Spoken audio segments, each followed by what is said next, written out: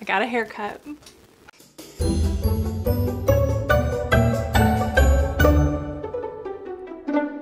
So I've decided I'm just gonna keep growing my hair. But it was looking a little crisp, okay? So I got a trim and I brought back my He-Man bangs because I love them. Hi guys, welcome back in today's episode of Crue Trime. Crue Trime. I get it, you guys like it. This is the story of the Starbucks murders. Also, I wanted to remind you guys about the Crue Trime merch.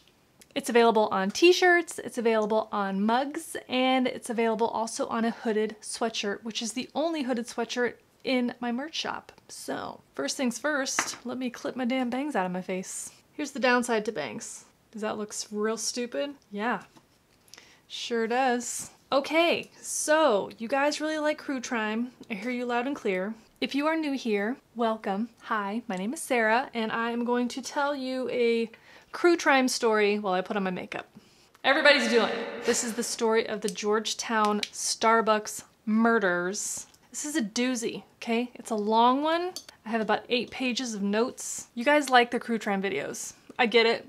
I like them too. I'm gonna do more of them because this is a lot of work. It's a lot of research. I'm committed to giving you what you want. So early, early, like before dawn on the morning of Monday, July 7th, 1997, three employees of the Starbucks Coffee on Wisconsin Avenue Northwest, Washington, so Upper Georgetown, were found dead.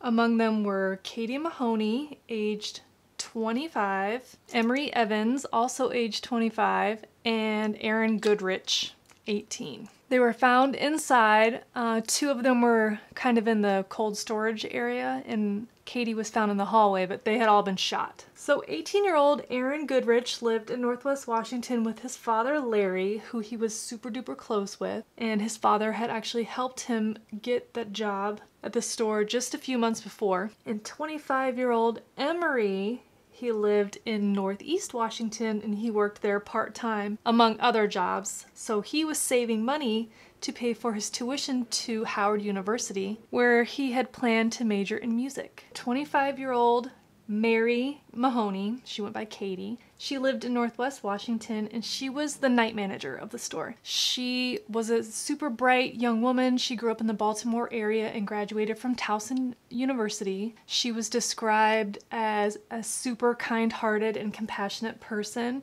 and she took a lot of pride in her job there at Starbucks and she was often seen even sweeping the sidewalk out front of the store. The only thing that she didn't dig about working at Starbucks was, you know, when you're the manager, you have to discipline the employees and she recently had to fire somebody because they had been, well, suspected of stealing money. So it was the early morning shift employee who discovered the bodies from the store. As soon as she saw them, she ran outside and like flagged down a bus that was driving by and the Metro bus driver called the police immediately. The homicide detectives combed the area for hours. They blocked off the streets and interviewed some of the neighborhood residents and one witness said that he visited that Starbucks daily and said that the lights in the store were on when he passed by at about 10 p.m. the night before, but it was weird because the store is typically dark after 8 p.m. on Sundays.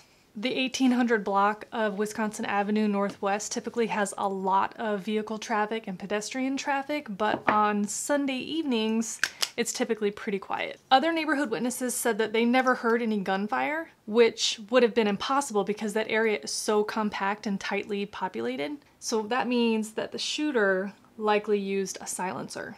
There was also no video surveillance evidence available because it was 1997. I, I, think I've, I've talked about Georgetown before in other crue trimes, just sort of briefly. Georgetown is like a super old part of Washington, D.C. It's a neighborhood that's very boutique, upscale, safe. There's no violent crime there. There's no, nothing ever happens there like that. Probably petty theft or maybe even some robberies, but definitely not a triple homicide at the Starbucks. No money was taken from the store. Hmm. So the recently fired employee, the one who was let go for stealing, was investigated immediately. I mean, the person who found the bodies was like, yeah, I think I might know who might have done this. So they investigated that person quickly. Turns out that they were out of town when it happened. They had a pretty solid alibi. It wasn't them. So when this event occurred in 1997, Starbucks had 62 stores in the DC area and only 10 were actually in the city limits. Now there's over 91 Starbucks just in the city limits. So, of the 1,200 locations around the world at that time in 1997, this was the very first murder ever to happen in a Starbucks. Not that there's a lot of them that happen, but this was the first one. So, despite all the police investigation and the crazy publicity that this case was getting, it was largely not going anywhere. It wasn't going well. There started to um, be these kind of wild theories popping up, particularly around Katie. So, Katie was an intern at the White House during the Clinton administration during the Monica Lewinsky scandal. So, there was some unfounded speculation about, you know, maybe Katie knew too much about the Lewinsky thing and she had been taken out. Anyways, nothing ever came of that. It doesn't seem to be connected. We're, we're getting to what really happened.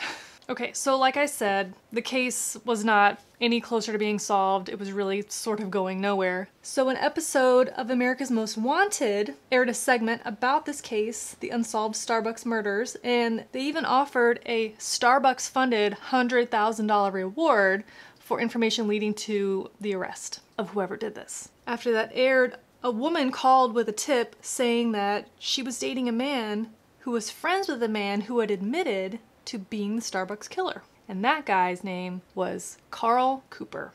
Sorry if it's extra noisy. I've got the door open because it's so nice outside. A little fresh air in here, you know? Anyway, so the woman worked with police. She wore a wire and continued some down low conversations with her boyfriend to try to get a little bit more information about this Carl Cooper. Police teamed up with the FBI and some other local law enforcement who were already sniffing around on Carl Cooper from his involvement with some other unsolved crimes, and they had already connected him as a suspect in the Starbucks murder.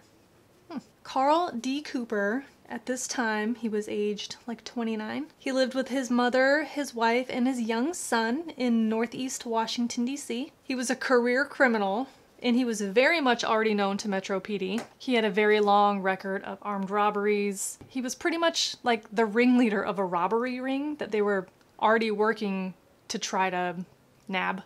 So they had been building a case on him for quite some time, but that he was just so heavily insulated by the way that his little crime ring was set up. It was very elaborate, okay. Anyways, so once they had that tip from the woman, they were really able to move in on him uh, for the Starbucks case because they had already tapped his phone, surveilled his home, and questioned everyone that they could connect to him. When the police are asking all your friends and stuff about you, it gets back to you. So he knew, he knew what was up. So on March 1st, 1999, two years after the Starbucks murders, Cooper drove up to his home with his five-year-old son in the car, and the police were already there, waiting to arrest him. Well, the arrest warrant was based on his alleged involvement in an attempted murder from a 1996 shooting of an off-duty Prince George's County PG County police officer named Bruce Howard. What does it have to do with... It doesn't. It doesn't. We'll get there. They took Cooper to the FBI field office in DC. He got there at about 8 p.m. and he was there until about 4 a.m. the next day being questioned. He told the investigators that he was worried about the effect of this arrest, how it could affect his job. He didn't have a job, okay? He's a criminal. He said that all the evidence that they think they had on him was circumstantial and he wanted to take a lie detector test. We all know what happens when you take a lie detector test. Okay, so in the initial hours of the questioning, investigators weren't sure if Cooper was talking about the shooting of Officer Howard or the Starbucks murders or some other aspect of the case. So when they made it clear, we're, we're here to talk about Starbucks right now. He was upbeat, positive, cooperative, he signed his Miranda waiver without hesitation. He told them he was not involved, 100% not involved. Murder was not his style. He admitted to past involvement in robberies and drug crimes and all that stuff. Train! So like I said, he definitely admitted his involvement in lots of other crimes. he knew, he said, that he was confident that his name was only coming up for the Starbucks case because of the shady people that he'd helped or been associated with in the past. He, he said he was a robbery consultant. Maybe somebody got nabbed and was trying to work out their own deal to help themselves. Cooper said that he had been to that Starbucks location before, but not the weekend that the murders occurred, which was 4th of July kind of weekend. He said that he never knew anybody who worked for Starbucks. He never worked for Starbucks. He would never commit a crime in Georgetown because it's way too busy. He had spoken to another crime associate that had approached him about the best way to go about robbing that Starbucks, which he said he advised not to do for the same reason. Georgetown's way too busy. You'll never get away with it. Don't don't bother. We all know Starbucks is a coffee shop, right? Did I even need to say that? Okay. You never know. So as the evening progressed there at the FBI field office, about four hours into the interrogation, Cooper started to get concerned about being perceived as a snitch. So he started to get emotional, even crying, and he entered what is called the despondent phase, where a suspect kind of wants to admit what they've done. Cooper started going on about being in it for life, destined to do dirt and he was constantly trying to defend his name. I didn't do this shit, I didn't do the PG shit. And when investigators asked if he still wanted to take a polygraph, He's like, no, there's no point. Agreed.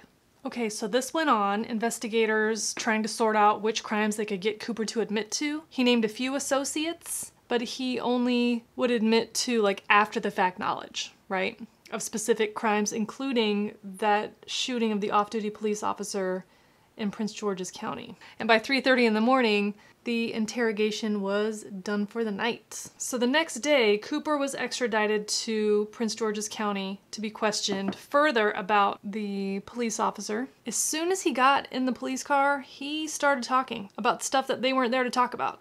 Like he really wanted to talk about Starbucks. And they listened. Anyways, once he was there at PG County, the police told him that they had witnesses and ballistics that implicated him, and he quickly replied that it was not my gun used in the shooting. Okay. He said that the DC police switched the barrels and were trying to frame him. And the police explained that uh, guns are identified by the firing pin and not the barrel. And Cooper said he wanted to prove that he was not involved in that Starbucks case and he would talk about Officer Howard later. My guy, you are being questioned right now in Maryland by Maryland police about a Maryland shooting.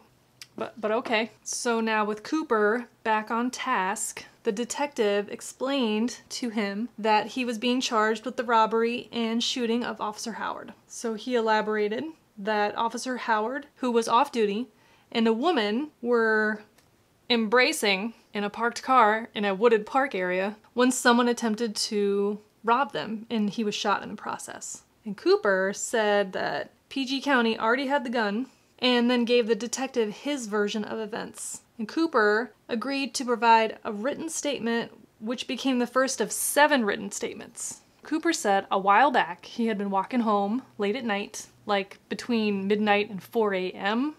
late. He was walking through the woods and he noticed a parked car with a man and woman inside having sexual relations. So he walked up to the car to be nosy and he noticed a wallet in the back pocket of the man who was lying on the front seat with his pants down. Now hold up.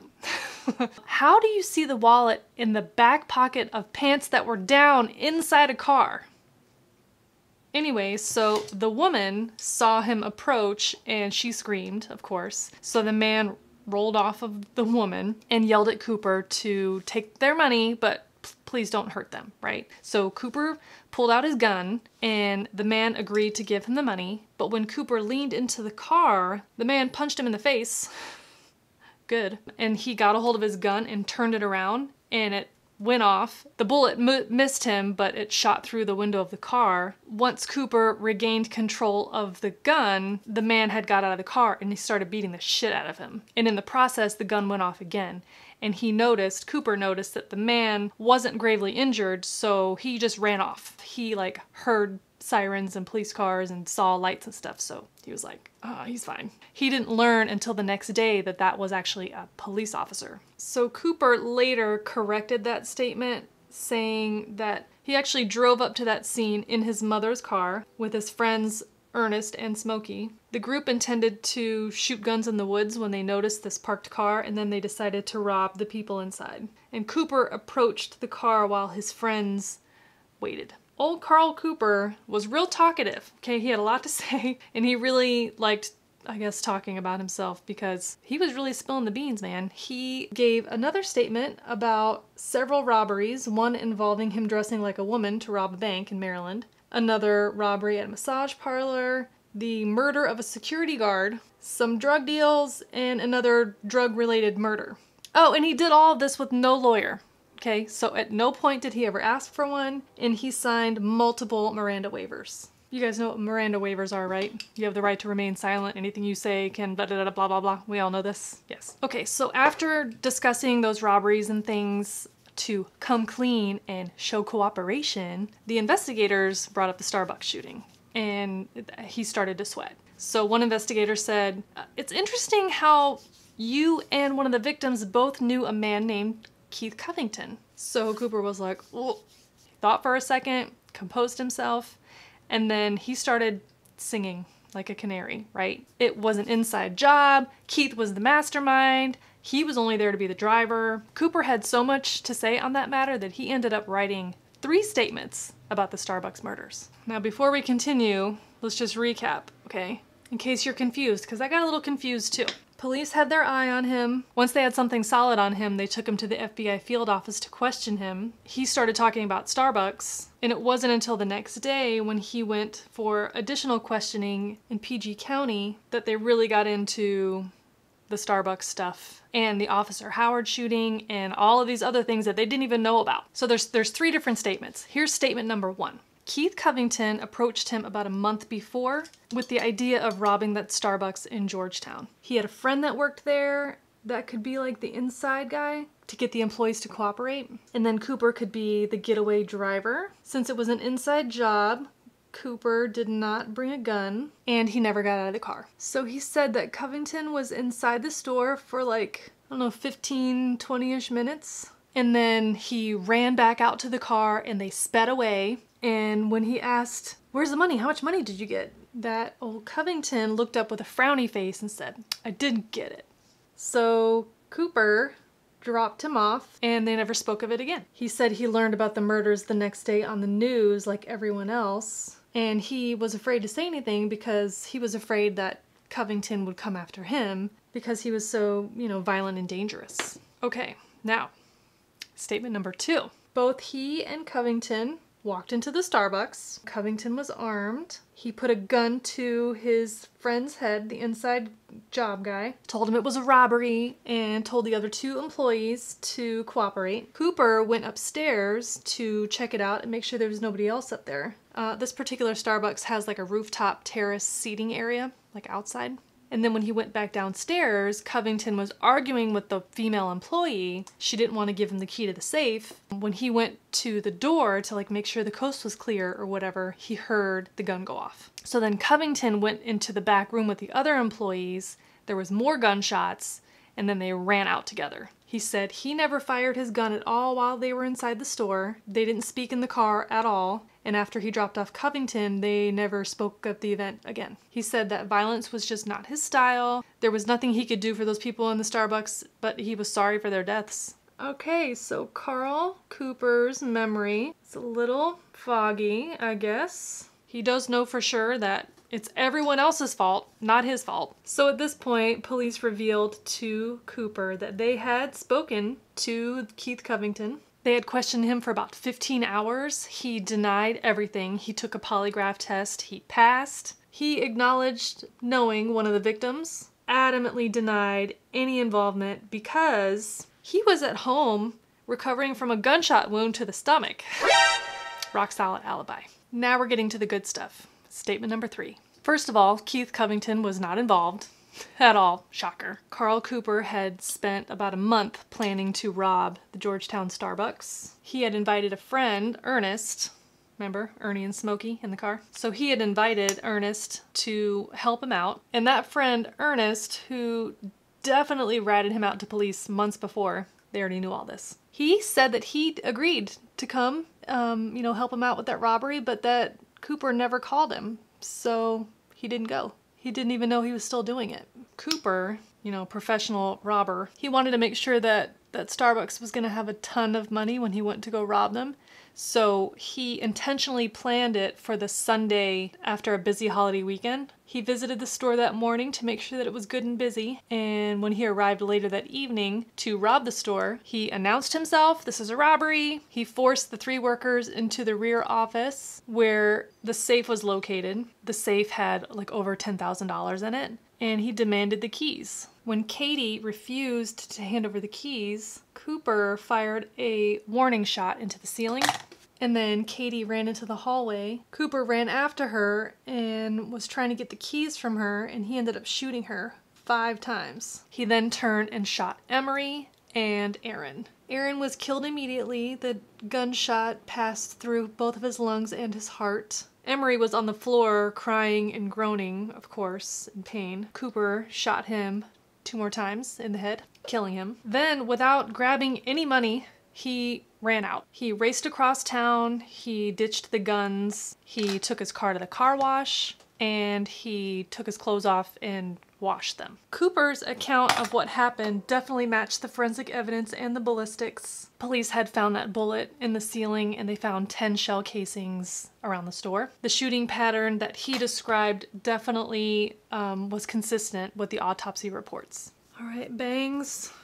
So Cooper was arrested, formally charged, and transported back to DC to be presented to the Superior Court of DC the next morning, where he told the FBI that he admitted to everything under the sun. Whatever they told me to say, I said it. They didn't advise me of my rights. Oh, really? Cooper said that he totally embellished all of it. He denied everything, and then he finally asked for a lawyer.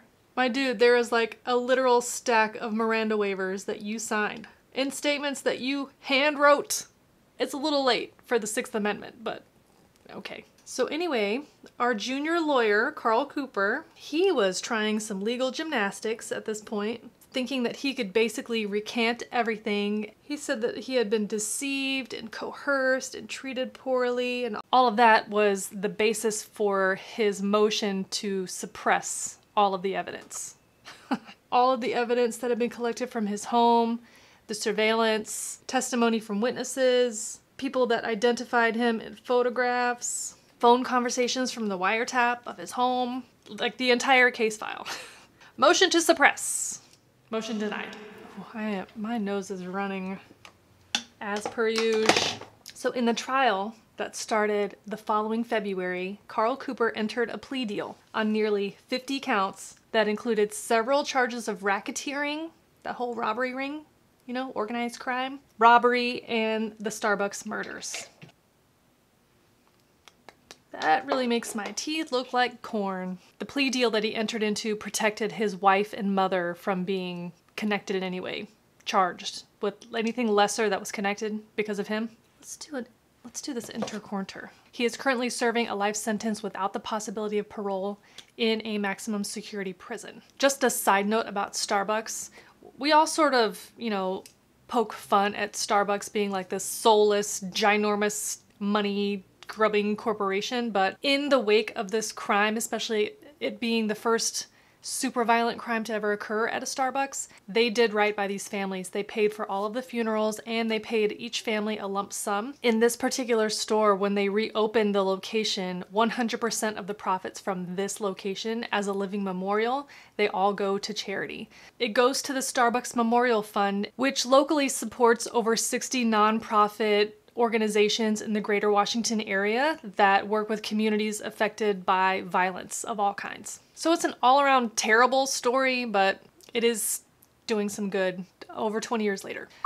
That is the story of the Georgetown Starbucks murders. This one has been requested a lot, so I hope I did it well for you. Don't forget to check the description box for all of the products that I used on my face today if you're curious, and for the link to the merch store if you want to get you some Crue merch. Thank you so much for hanging out today and for watching this video. I really appreciate it. If you want to see more videos like this one, then consider subscribing to this channel before you leave today. I upload new videos here on YouTube every week, and you can follow me on most of the other social channels. That is it for now. I will catch you next time in the next video. Bye! Somebody gave me a tip on how to put in eye drops properly. Thank you. I've been doing it wrong my entire life. That they had spoked. Spoked. Uh, excuse me. Yep, right here, crew trim. Wow, I've got big old flakes of skin on my lips. That looks gross. Train going by, ruining my life. Cations profit. Fuck. Oh wow. That is silver. The investigating, or do you hear that train? So dramatic. Hold please. I don't know what kind of makeup I want to do. Ugh. The George, George, George sweatshirt. It's act. Shut up.